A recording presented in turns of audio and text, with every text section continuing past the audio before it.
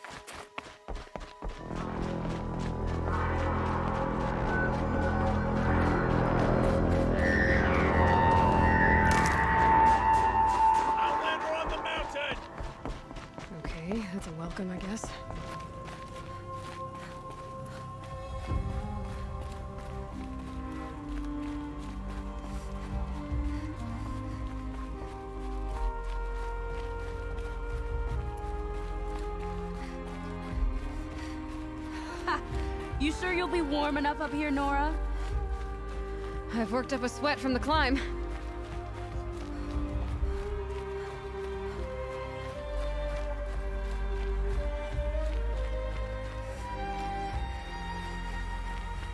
You made it to the cut, Outlander.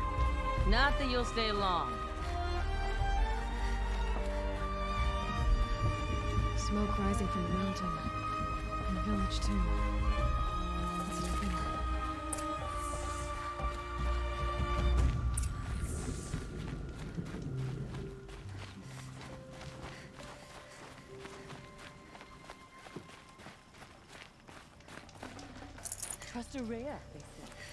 She'll return to us, they say. And yet here we are, waiting. How are we to trust the chief after so many died? Must be something big going I on. do Most of the village is moving towards that smoke.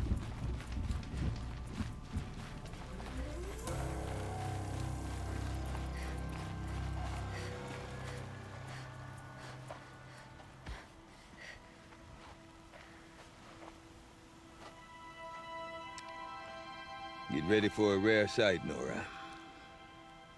Bergrand, purveyor of necessities. Most of the time, the Banuk burn their dead. But not today.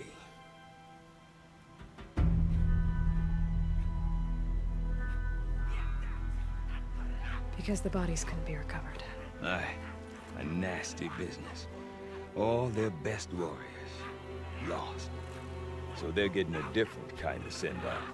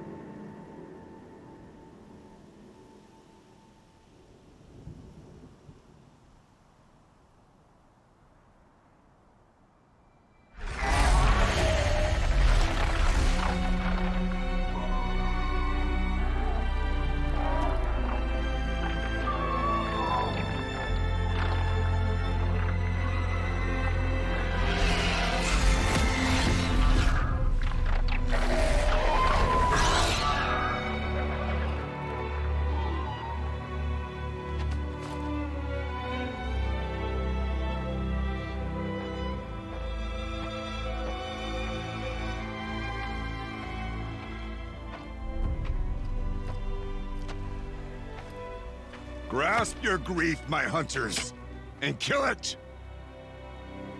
For our kin sees the fate all Banuk long for. Falling with their spears striking steel. Their struggle is over now. You have witnessed their spirits rise up into the blue sky and beyond to the blue light. But our struggle is only beginning. Soon, we will again take up the hunt against the daemon that frenzies the machines against us. And so I ask you, can you summon the courage of our fallen kin? Will you fight and die as well as they did? My courage! My spear! Our blood is in your teeth, Aratak! We are Banuk. Our enemies are prey.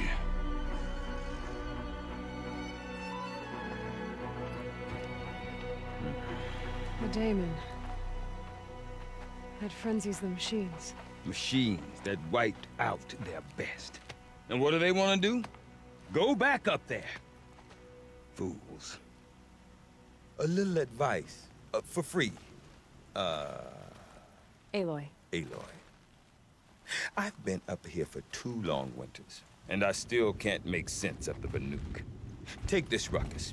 It started with one of their shamans, uh, Ourea. spouting on about spirits and demons up on Thunder's drum. So they march their Werak up there, and half of them get slaughtered by machines. When Ourea vanished, I thought the crazy might have gone with her. But no. Here's Big Aratak, gearing them up to do it all over again. What is it about the Banuk you can't make sense of? Hmm. Well, everything's a test to them. A hardship to endure. A challenge to survive. Seems like they don't have much of a choice in a place like this. Yeah. A land cold enough to crack teeth, filled with wild animals. You think they'd accept a little reasonably priced aid. Well, believe me, I've tried to convince them. But a Banuk with nothing left to prove might just lie down and die. And Ourea is the one who spoke about this daemon? That's right. Told Aratak and the others that it lives up on Thunder's drum. And they believed him. But you don't. Look, I don't know what Ourea found up there. A shaman's not gonna talk to an outlander. The machines in the cut are getting more vicious, that's a fact. It could be because of the daemon, or it could be because they all got indigestion, for all I know. But Ourea's not around to explain. She took off, and no one knows why. Is Aratak a renowned warrior around here? He's a Werak chieftain. His voice carries a lot of respect. Not that you hear much of it. Man talks about as much as a dead fish. But when he and Ourea came to town with their Werak, it drew more Banuk to this little burg than I'd ever seen. Know what else I saw, Aloy? My own little trade route, stretching all the way back to the claim. Then, he goes and leads them off to their death at the claws of angry machines. Ah, so much for my best customers. What are these Weraks about, Bergrand? Some sort of tribe within the tribe? Eh, not like our clans back home. You don't get born into these things. They hold tryouts. Prove your best at something, and you might get a place. Some Weraks come and go. Some last as long as Melon. The whole Banuk territory, Ban-Ur, is just a bunch of the biggest, oldest Weraks. I'm not sure if I'm less confused or more confused. Well, here's the sure thing. Each Werak has a chieftain and a shaman. They make the decisions. All well and good, except the chieftains are hard-headed, and the shamans have their heads in the clouds. You said you've lived out here for two winters? Aye. Back home, some fur traders told me about this steel-forsaken heap of tents. Good location. Ripe for change. We were barely scraping by until this place started filling up for Ourea. A great prophet is coming, they said. Ah, I heard prophet. Honest mistake. Not that the Banuk are stingy, they just prefer to keep trade among themselves. We could get through to enough of them. We could really put this place on the map. Or at least on a map. We? Me and my daughter. Mm, my assistant, Varga. My assistant and my daughter.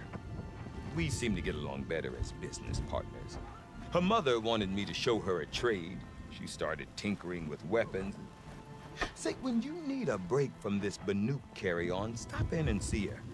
You're both, uh... Hmm, how do I put it? Uh, Women? no, no, no, no, no. I- independent. Look for her at Longnotch, the easternmost Banuk camp. I want to know more about this daemon. Mm-mm. It's crazy talk, Aloy. Or there's something to it. Something connected to how the machines behave. Then you need to find Ourea. She was last seen headed for the mountains they call the Ice Rasps. I've heard only the shamans know the trail beyond those frozen peaks. Mm. But I do know where you could find her apprentice, Naltuk. He went north of the river, chasing rumors. Rumors? Not the good kind. Sudden attacks in the snow. Strange new structures. Some say a new machine, like no one's seen before. Well, now I'm definitely interested. Thanks for the talk, Bergrand. Don't mention it.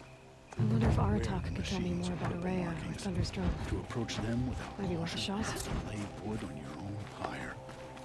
Outlanders are always so surprised to see a colony.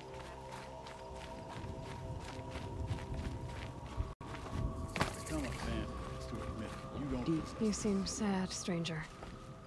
I heard you mention a flood. Yes. A sudden deluge, without rain or melt to explain it.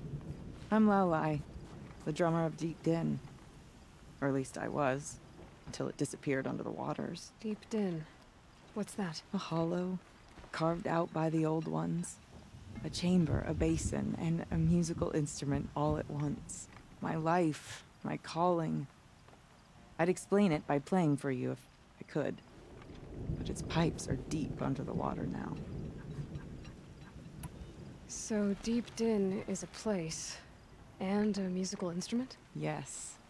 Pipes that carry a perfect tone beneath a sonorous basin. A wondrous edifice the old ones used to carry music far and wide. During the war, my father played the pipes to rally the Banuk against the Carja. I'm the drummer now. But our battles are few and far between. Mostly I play for the joy of it. Or to remember my family. Of course, if the waters don't recede, what's the point of joy? Or remembering? So the waters came fast. One day it was dry. The next, the nearby river had risen and the entire basin was flooded. I don't understand it. There was no rain, not even any clouds, and yet the river rose higher than I'd ever seen it. And there it remains. A flood without rain. That is strange. Where is this place? I'll have a look if I'm in the area. Just northwest of here. Look all you like, but I don't see what good it'll do. The floodwaters aren't going anywhere. How does one ask a river to relent? Aha! Now here's some company I don't mind keeping. Shall we all die beneath the claws of these new machines?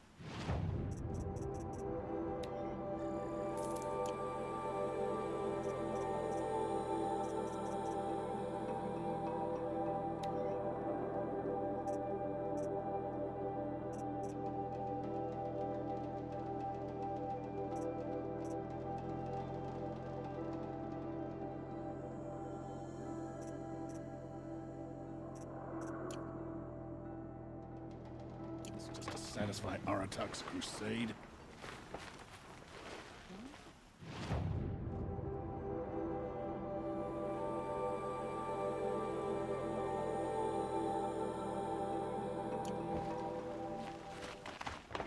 No more music.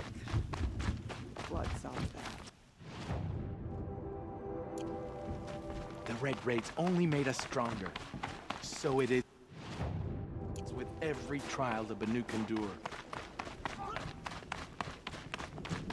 Okay, if I want to learn more about how this daemon affects the machines, I've got to find Ourea. And to do that, I need to talk to her apprentice. Outlander, who followed the wait, wait a moment.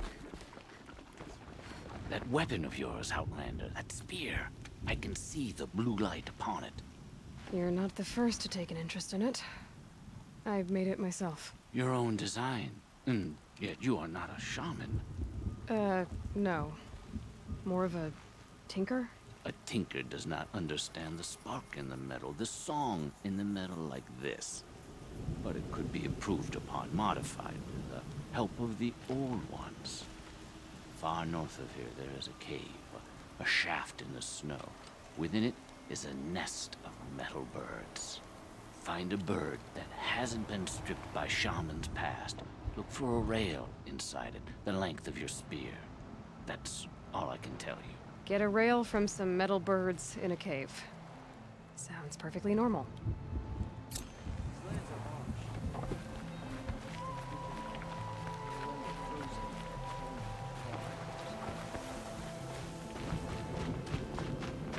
Any news from the hunt? The herd isn't roaming far from the camp. Keep them together.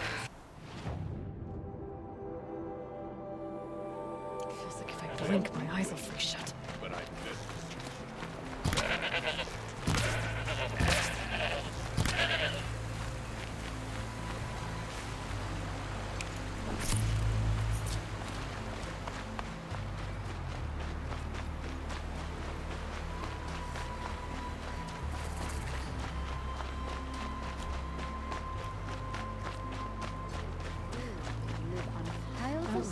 taken from the old one. Gorgeous that's who. The street seems full of smiles.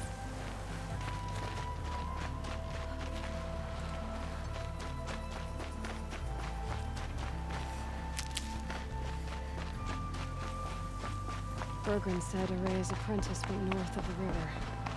Hopefully not too far.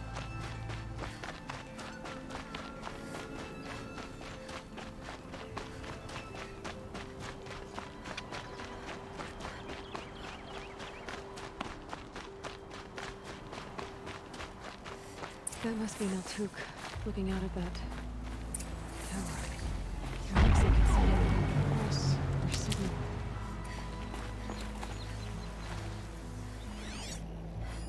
Interesting. Maybe I could override it.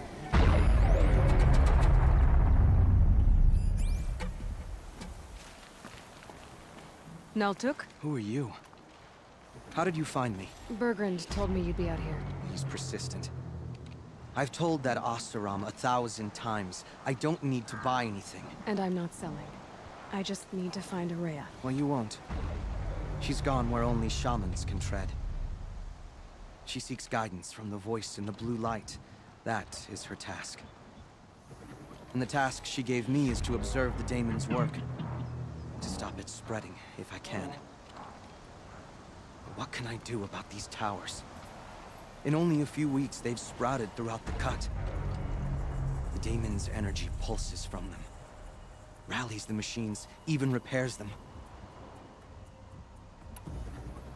Aratak said this daemon was frenzying machines. Look there.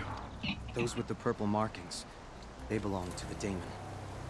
They're stronger, more dangerous. I've seen something like this before. A corruption. But it wasn't from your daemon. You have? Well, then you know more than I do. These towers, were they part of your corruption? Those are new to me too. Like I said, they empower the daemon's machines. They must be stopped. Will you tell me where Ourea went? You ask a lot of questions.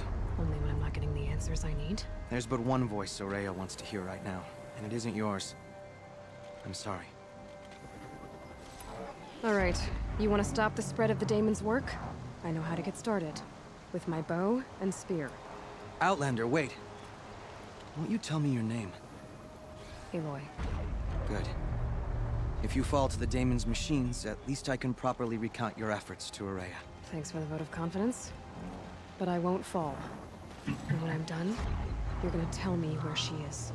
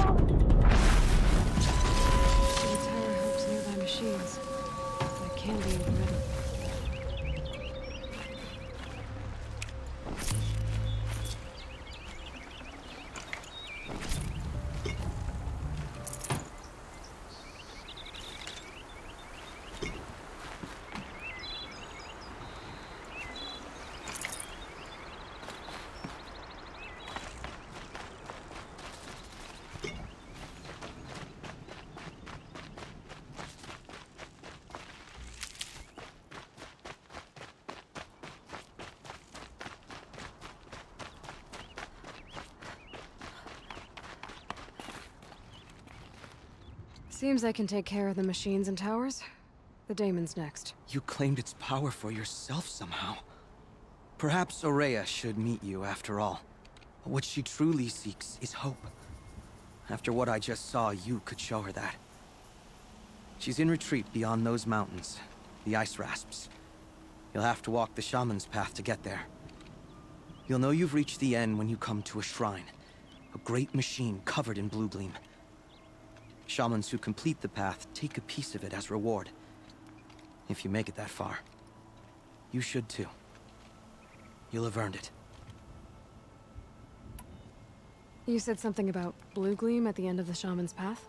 A crystal that builds on the bodies of machines in the oldest ice.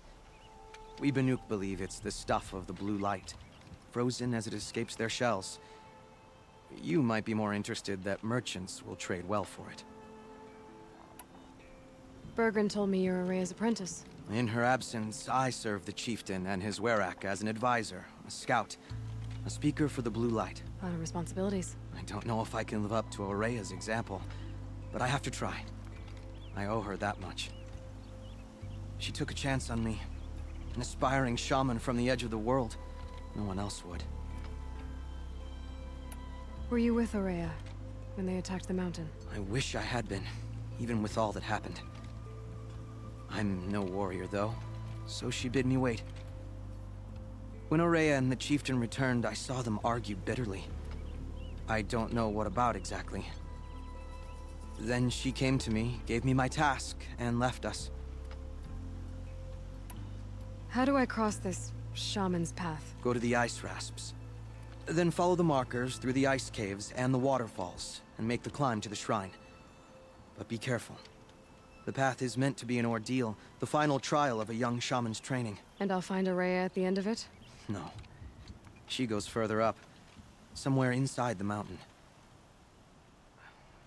If you see her, would you tell her... I have faith she will hear the voice again.